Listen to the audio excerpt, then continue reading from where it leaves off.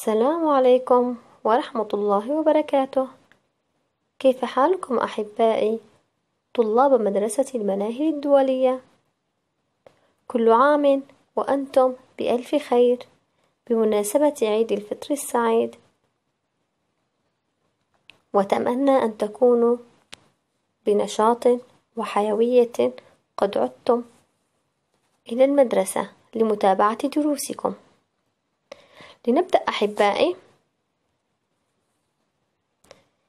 كما اعتدنا يا أطفالي دائما نبدأ بسم الله الرحمن الرحيم. قبل الطعام قبل اللعب قبل الدراسة قبل كتابة الوظائف. نذكر اسم الله سبحانه وتعالى قائلين بسم الله الرحمن الرحيم. إن درسنا اليوم للصف الرابع في مادة التربية الإسلامية وعنوان درسنا أحبائي حسن المعاملة. الآن سنتعرف ما معنى حسن المعاملة. لذلك قمت باختيار الحكمة القائلة أحب عباد الله إلى الله أحسنهم خلقا. إن الحكمة هي حديث للرسول الكريم صلى الله عليه وسلم. أحب عباد الله إلى الله أحسنهم خلقا. كلما ارتقينا بأخلاقنا وصفاتنا الحميدة نلنا محبة من الله سبحانه وتعالى. إن هذه المحبة هي التي نسعى إليها دائما في أعمالنا وفي أفعالنا.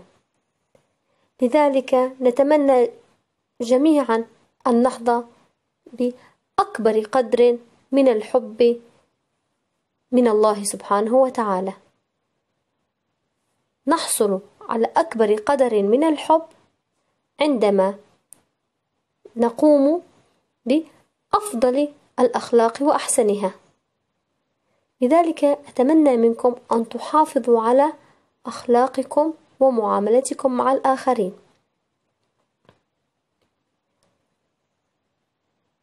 كما اعتدنا أحبائي في بداية كل درس نقوم بمراجعة بسيطة للدرس السابق.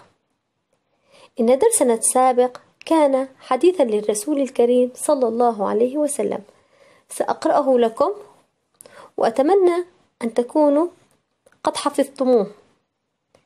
قال رسول الله صلى الله عليه وسلم إن الرفق لا يكون في شيء إلا زانه ولا ينزع من شيء إلا شانه. إن الرفق لا يكون في شيء إلا زانه ولا ينزع من شيء إلا شانه. نعم تذكرتم درسنا السابق كان يتحدث عن الرفق. إن الرفق يزين الإنسان وأيضا عندما يكون الإنسان مفتقد لهذه الصفة أيضا سيفتقد إلى صفة الجمال الجمال الخلقي. أتمنى أن تكونوا قد حفظتم الحديث أحبائي. وها هو درسنا الجديد حسن المعاملة. إن درسنا عبارة عن حديث للرسول الكريم صلى الله عليه وسلم. إن الله عز وجل رفيق يحب الرفق ويعطي على الرفق ما لا يعطي على العنف. قال رسول الله صلى الله عليه وسلم إن الله عز وجل رفيق يحب الرفق ويعطي على الرفق ما لا يعطي على العنف. إن حديثنا بسيط وذو معنى كبير. يتحدث عن الرفق والعطف. لذلك سأقوم بقراءته مرة أخرى. قال رسول الله صلى الله عليه وسلم إن الله عز وجل رفيق يحب الرفق ويعطي على الرفق ما لا يعطي على العنف. الآن سأذكر لكم جوانبا من الآيات الكريمة التي نستشهد منها عن آه، الرفق الذي يعطيه الله سبحانه وتعالى للمؤمنين. لنبدأ بالآية الكريمة. أطابق بين الجدول الأول والثاني بوضع الرقم المناسب. الآية الكريمة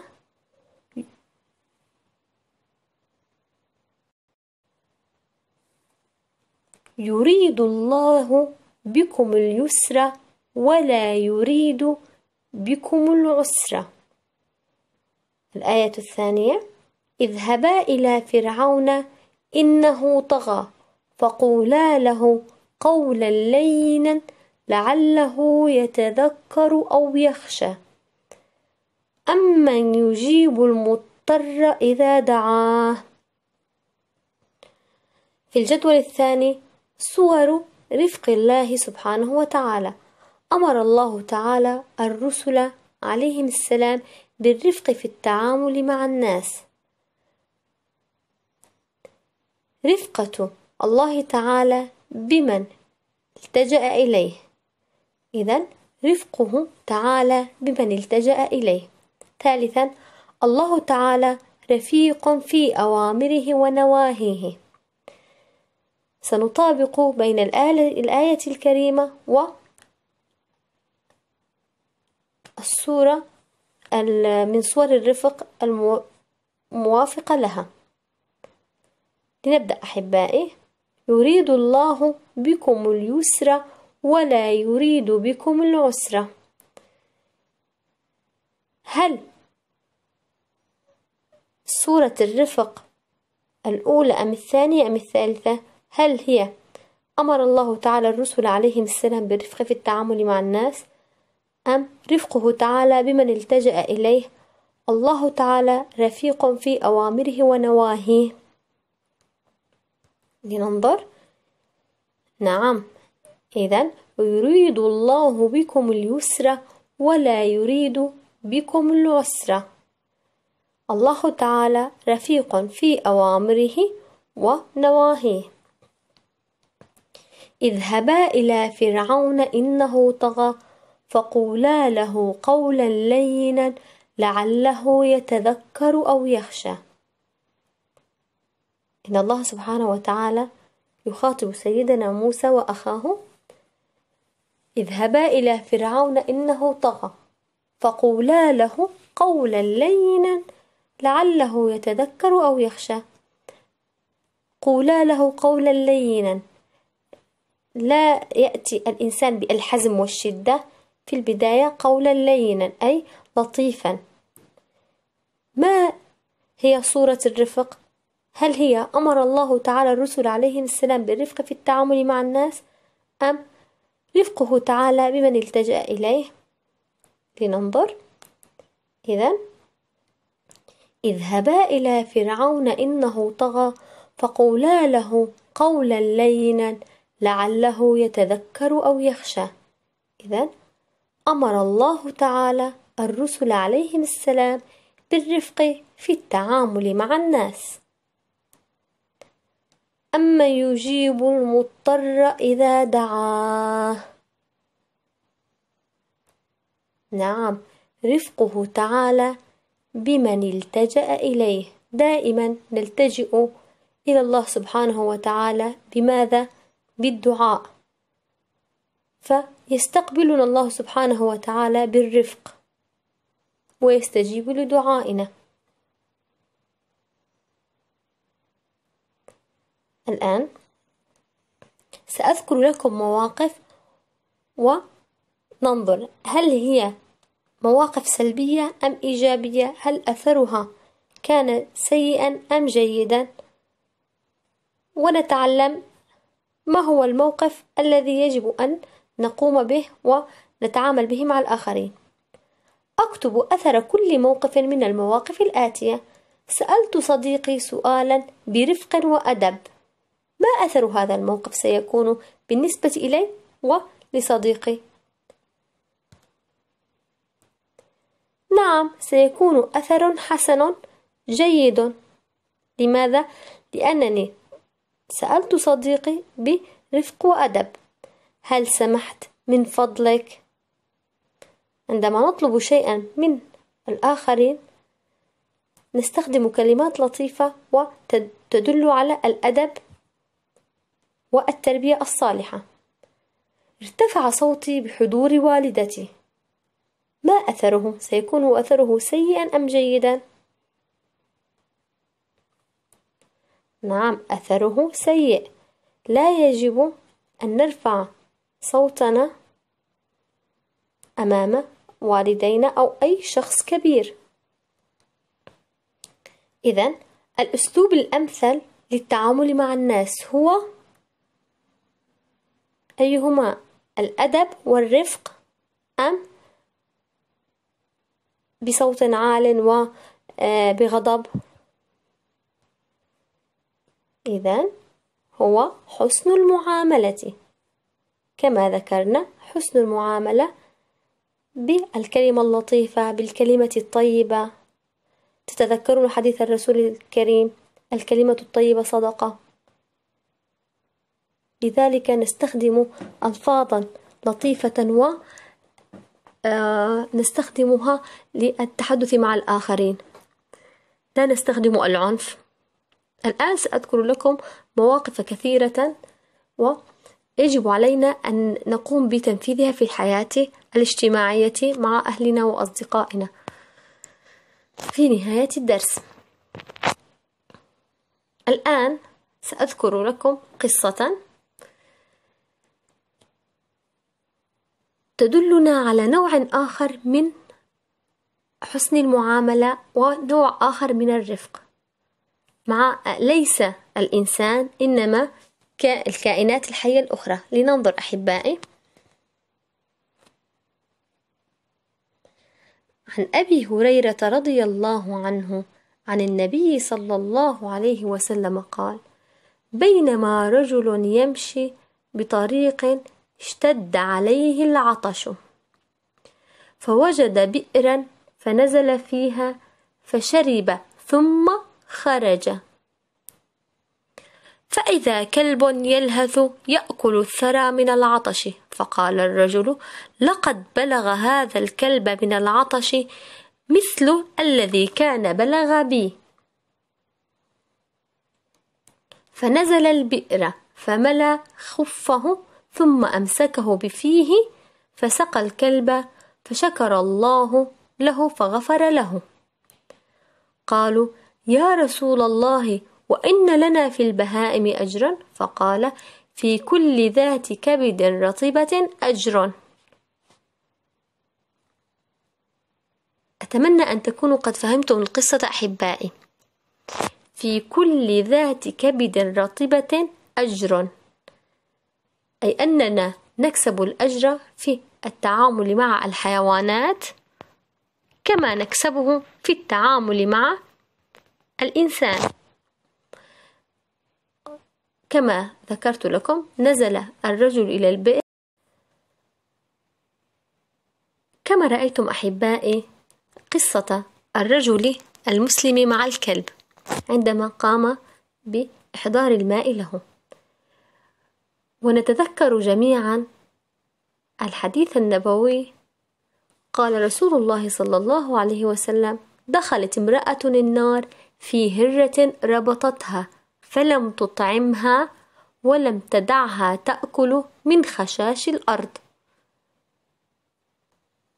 هل لاحظتم بسبب قطة قامت المرأة بحبسها ولم تطعمها ستدخل النار؟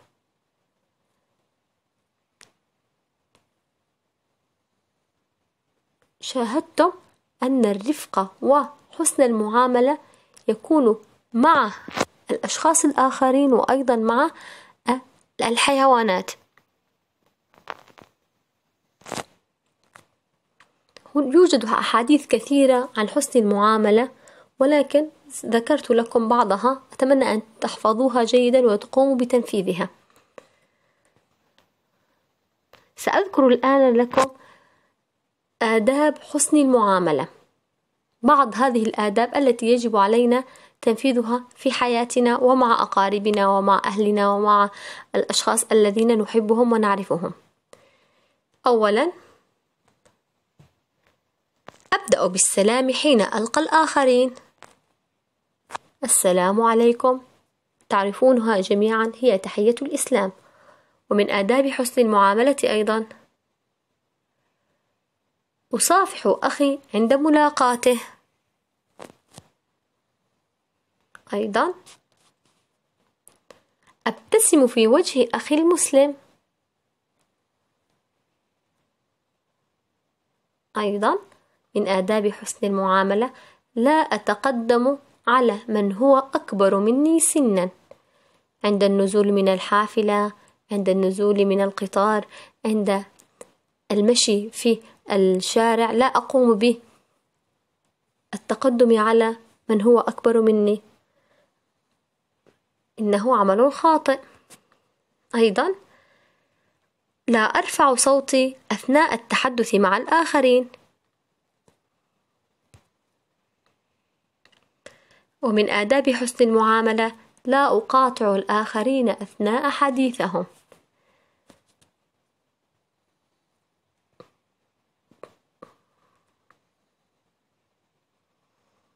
مساعدة المحتاجين والضعفاء. امرأة كبيرة في السن تحمل أكياسا كثيرة أحمل عنها. آه، عندما نكون في جالسين في الحافلة أيضا يأتي رجل مسن امرأة عجوز. أيضا آه، أدع المكان لجلوسهم. وعند مشاهدة أشخاص يحتاجون نقود أو يحتاجون أي شيء أستطيع أن أقدمه لهم لا أبخل عليهم لأنه كما ذكرنا آداب حسن المعاملة الرفق بالآخرين. أيضا مصاحبة الأخيار والبعد عن الأشرار. وأريد أن أنبهكم أطفالي إلى نقطة مهمة. إذا كنتم على قدر من القوة أو النصح تستطيعون أن تنصحوا أصدقائكم الذين مبتعدين عن آداب حسن المعاملة بتقديم النصح لهم بتقديم النصائح لهم بتعريفهم بجوائز ومكافأة الإنسان المسلم الذي يحافظ على أخلاقه فسيكون لكم الأجر بإذن الله عندما تقومون بتحفيزهم على ترك الأعمال السيئة. وأيضا من آداب حسن المعاملة يا أطفالي أن نحسن التعامل مع العمال والخدم وغيرهم. جميعنا نعلم كيفية التعامل مع العمال والخدم. بالرفق والكلمة الطيبة. أيضا أحبائي مشاركة أهلي وأقاربي بأفراحهم وتقديم التهنئة لهم. أيضا من آداب حسن المعاملة. ومن آداب حسن المعاملة أحبائي زيارة أخي المسلم في مرضه وأدعو له بالشفاء. عندما يكون أحد أصدقائكم مريضا فسارعوا بالذهاب إليه وأيضا الدعاء له بالشفاء. بعد صلاتكم أقوم بالدعاء لصديقي لكي يشفى من مرضه. هذه بعض الآداب في حسن المعاملة. أتمنى أن تقوموا بتنفيذها بحياتكم ومع أصدقائكم ومع أهلكم ومع أقاربكم. وكما ذكرنا أيضا من آداب حسن المعاملة الرفق بالحيوانات. ذكرنا حديثين عن الرفق بالحيوانات أطفالي أتمنى أن تكونوا قد حفظتموها. وفي النهاية نتعلم من الدرس الرفق دليل كمال الإيمان. أيضا الرفق ينمي روح التعاون بين الناس كما ذكرنا. وفي النهاية أيضا الرفق بالحيوانات. يجب علينا الرفق بالحيوانات وحسن معاملتهم.